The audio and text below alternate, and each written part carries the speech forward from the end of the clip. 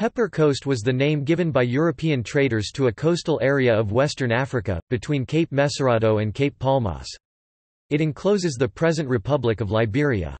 It got its name from the Melegueta pepper.